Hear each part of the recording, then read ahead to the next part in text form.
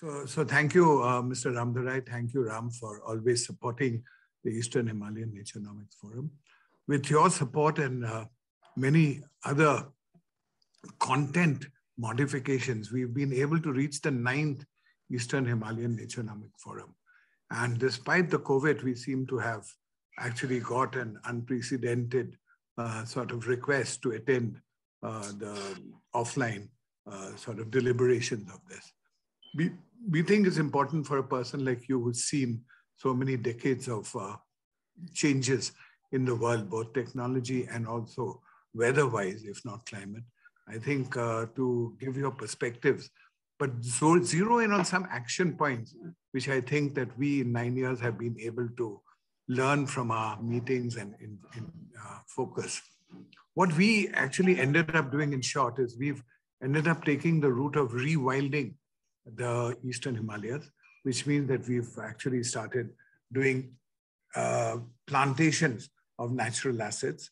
And these natural assets, we have not just done monoculture, we've taken samples from uh, sort of control sites of wild parts and seen that basically there are roughly 21 species that could go there of um, uh, lower, middle, and canopy level pieces. So we've taken those 21 and actually tried to nurture them and rewild uh, that entire process. So it's not a question of just planting. So it's a bit tedious and has been a bit long. We have succeeded in doing and capturing uh, the imagination of communities for employment. So actually, we've not only done rewilding, but also got communities to own these natural assets. Where we failed is to actually get a value and the valuation of these natural assets. And we believe there are three asset classes we can do it in. One is the valuation of nature, as is basic, as explained by if you cut the bamboos and you sold it bare, you'd get a certain value. So how many bamboos would there be? Roughly 7% of our forests have bamboos there. We can plant more, but we didn't want to artificially do it. So 7% bamboos with teak and others, etc., would give you a certain value. Then we divided this asset class into four broad asset classes. One is food and fruit asset class. Two is medicinal asset class. Third is an asset class for household and building material, if not clothing, which is also with uh, uh, things like bamboo and softwood. And last but not least is the biodiversity element for tourism, we're saying it would be important. So each four of them have a value component just on basic. If you drop down one more and actually you add uh, the value addition. So if we take teak or we take uh, bamboo and just basic stuff, we converted it into wood and we sold it, that's a value addition piece. So a normal bamboo of one square foot, if you got 3,000 rupees, by value addition, you get at least 15,000 rupees. So, so that's really the value addition part of the component of that, the asset class. So the asset class is forest. Within the asset class of forest, we've got forest and forestry for furniture, and that we've added value. Then on that value, we've said, what is what everybody's talking about, ecosystem services. And therefore, how do you value nature capital through ecosystem services? What that means very simply, and it is really preaching to the converted, uh, to you, who's actually been part of these debates very often, is that what is these services like water, air, quality, purity of air, soil? I don't think anybody has really gone into the depth of it. More importantly, nobody has actually tried to understand the value chain of the entire process of ecology. So to us, we've gone down to the basics to understand if this was a superficial valuation in the material world, the post Bretton Woods calculation, I call it, because it is just a taking basic wood, converting it, it's man material and just converting it into goods and services. We, we basically feel that we have been challenged that this value if we can give, then we can borrow against it. So what we are finding is that the government don't understand from Arunachal. If we converted the whole value proposition there, we can borrow it for social dimensioning, which is we can build schools, we can build roads, we can build hospitals, and we can build, we can create employment through this, just the cutting and creating it in that three levels, you know. So I think somewhere down the line, we are missing the boat in terms of this whole valuation piece. And unless we do the valuation piece, that we uh, will not be able to either raise debt in an area where, in today's world, where debt is rare to get in a big way, unless you give some goods and services and mortgage. We believe that natural value would be able to do that for living life and actually for social services. So sorry for that long preamble, but that's where Naturenomics has come so far in terms of understanding. And I thought it would be only fair I share that with you and then open it up for your kind of questions or your deliberations. So the first question would be, do you believe that ecology is definitely a very important ingredient to economics?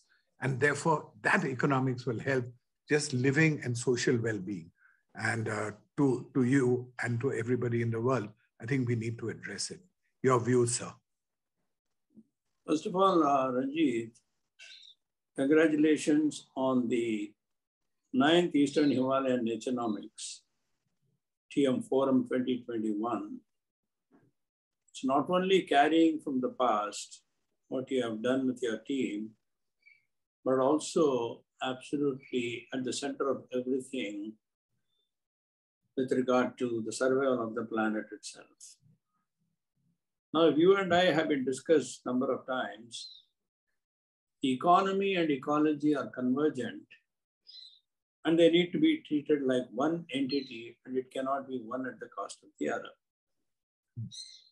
Now, we also said that the existing pattern of consumption, production, and growth patterns are completely unsustainable.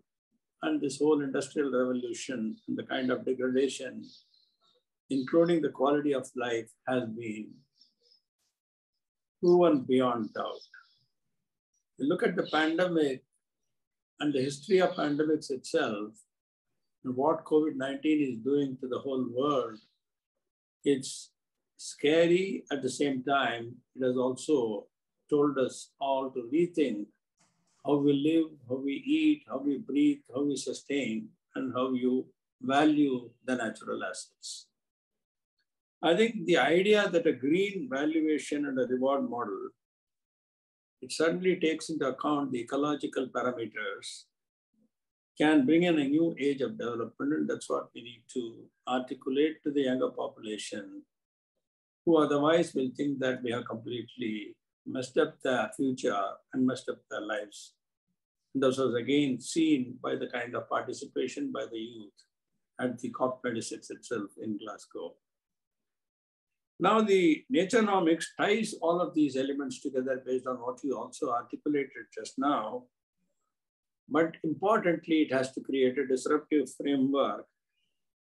I think a holistic rural community development at the heart of what we talk about is very key and the optimization of the natural capital and assets must be a way we look forward to in the future.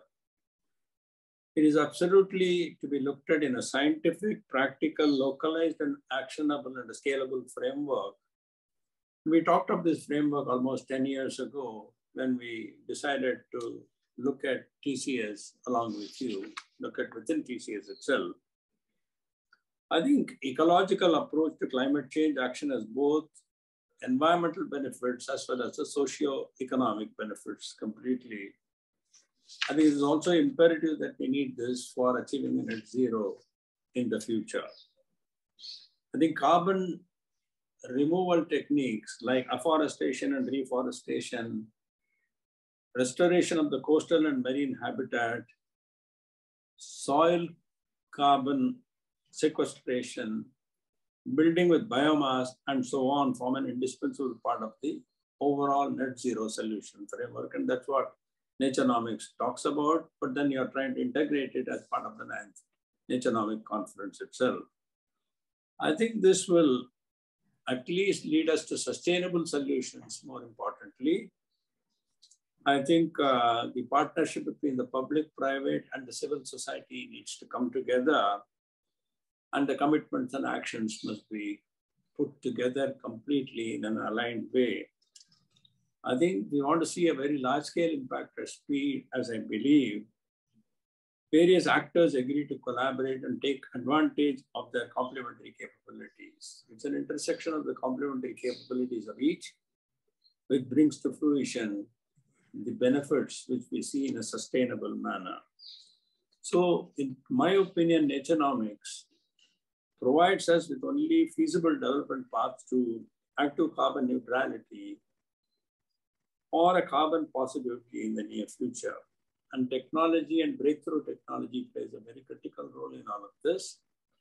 And we cannot not use technology for the scale and when it comes to nature and natural systems. I think uh, some of the technology interventions also uses manipulation of organisms and ecosystem processes, requiring decisions at the acceptable level through human interventions. So the possibilities are multiple and they will evolve, but in my opinion, the immediate action should be on should be on a concerted action. Thank you. Thank you. So I think leading on from that, you know, there are two things which you could uh, help us to move. Is one is citizen sciences. You know, I think is absolutely critical.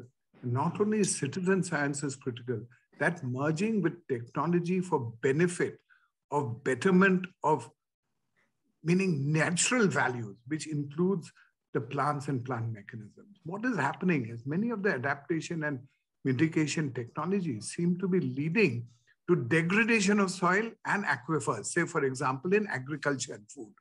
Agriculture and food is such a basic thing. If we start tampering with technology to destroy it with using adaptation and mitigation in the name of adaptation and mitigation, then I think we are in for a bigger disaster because we're still in the mode of better, brighter, faster, cheaper. You know, because if it's not better, brighter, faster, cheaper, and making mass, we don't seem to be actually rewarding the stock exchanges. And the stock exchanges, unless you keep giving them a return, there is no actually end to a stock, and therefore there's no incentive for the organization. So I think citizen sciences working on food and technology and working on reward mechanisms for economically bound organizations, ESG apart, is something that we need to actually line up and put in a 360 degree format. Your comments? No, when we have different conversations with people, everyone agrees that we have to move towards a green economy.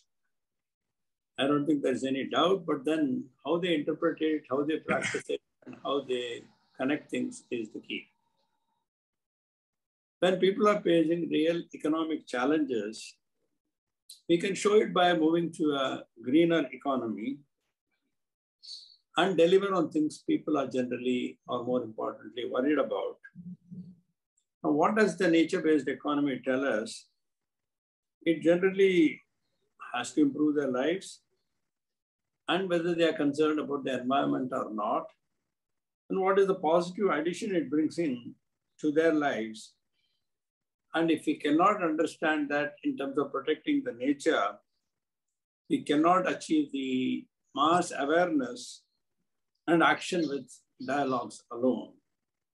So when we see the positive impact with the green practices and green business it brings to the people's lives, the importance of protecting the nature will come into fruition.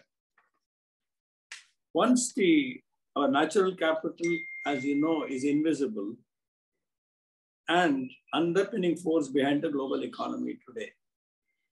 Healthy ecosystems and the wildlife together add high value to your global economy. And there are some numbers, an estimated 44 trillion of the global GDP of that.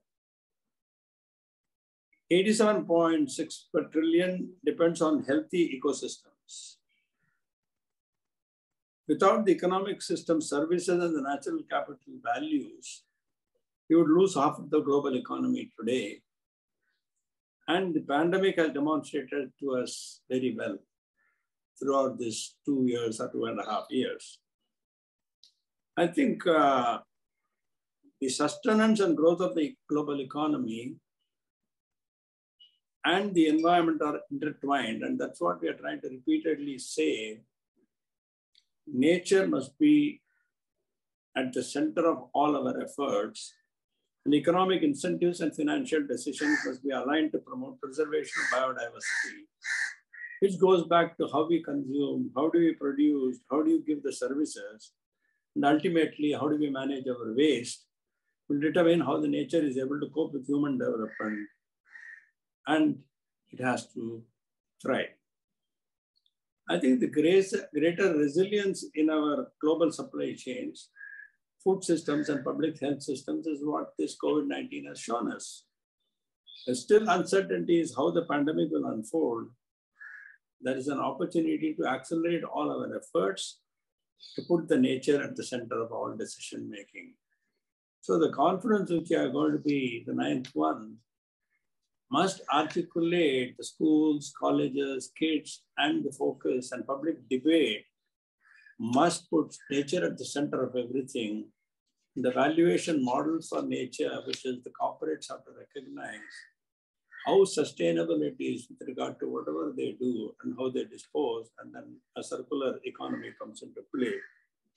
I think there will be different difficult choices as we transition into a nature-based economy. But I think they must appreciate people at large, the large-scale benefits and valuation models and a cleaner environment is the order of the day. Even if we visit the nature parks today, the point you made about the teak, the point you made about the bamboo, or how to make them sustainable instead of planting them, replanting them, etc at the same time using them when it needs to, and how it acts as a carbon sink and the carbon and the oxygen levels, the oxygen levels which are available, and the carbon being removed from the whole atmosphere and the system. But there are no clearer answer, but unless we experiment, unless we accelerate, unless we commit together, like I said, between the civil society, between the corporations, between the businesses and the government, things will not change. This includes even demonstrated activities at a state level, within a panchayat level, where enough initiatives are there. How you connect them and scale them up is what I'm talking about. But valuation models have to be very clear. And disclosures on those valuation models by the corporations or by the government in whichever activity they are involved in must be very visible to the communities at large the community participation has to be a way of life rather than the end product, which is of no use to them. That's the way I would summarize. That's very well put. You know, when you speak, and I think of the book that you wrote on TCS, it resonates very well on two parts. Now that I have also been associated with you on the skills front, there are two big horizons that you opened up for mankind, if not for India, if not for technology. One was the whole technology revolution, which they had to embrace. So you're almost saying the new revolution of ecological revolution must be embraced. We must understand the components and the benefits. The second one is on skills. So if the schools, colleges, etc., don't address the new requirement of skills, as over the last 30 years you've seen, to, to have a computer now is not a luxury. To have a computer now is a necessity. But when you started, not even the school teacher, uh, let alone the principal, actually knew how to use a Gmail or a, a email. So I think that transition that you have seen and brought about for the better betterment of for human beings through this technological revolution and embracement is really what you're saying, both from your experience and skills and the wisdom you imparted in technology. I think the merger of those two is actually what we really need for nature. Over to you reactions? See, even when I was managing TCS as the CEO and MD, we adopted sustainable practices and technologies on several fronts, which uh, the things like energy saving data centers or environment friendly facilities or efficient waste and water management systems. So this was started during that period. And TCS has been supply, I mean, successful in playing a leadership in what we called as IT for green. Now, in my book, The TCS Story, which you also mentioned about, which was almost published a decade ago, I had mentioned that it is inevitable that we change our economic evaluation models, where we move from financial competitiveness to ecological competitiveness, if you are to save the planet for the future generations. This was articulated almost a decade ago by me. Now, when you look at the jobs which are going to be in the green arena, and I try to map some of the jobs that are going to be relevant at scale level, it's not that the jobs are going to disappear with the current way of uh, production and consumption.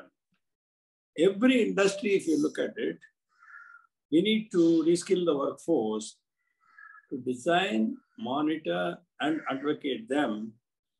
And as many nations pledge to reduce or eliminate carbon emissions, the kind of jobs are, for example, clean energy experts, wind turbine, solar panel, hydropower technicians, electric vehicle workers, new plastic designers and engineers, urban farmers, forest fire inspectors and prevention specialists, environment specialists and educators, green building retrofitters, recycling of workers, waste management experts, water resources engineers, environmental managers and compliance officers and so on. So I can go on and on. And these are the kind of opportunities that are going to be thrown up in the new skills arena.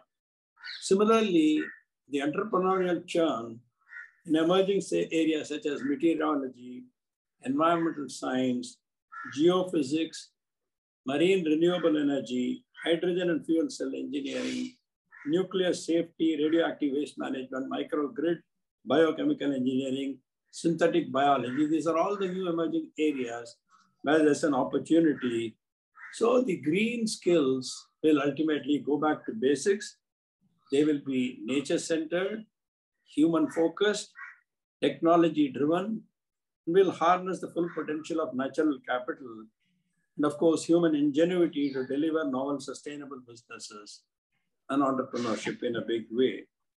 I think when I think you're also in your conference touching upon the green transition for a country like ours will involve five sectors or impact in the future energy, mobility, industry, green buildings, and agriculture that contribute most of the GHG emissions. So India's path to decarbonization will have an economic impact of about 15 trillion by 2070.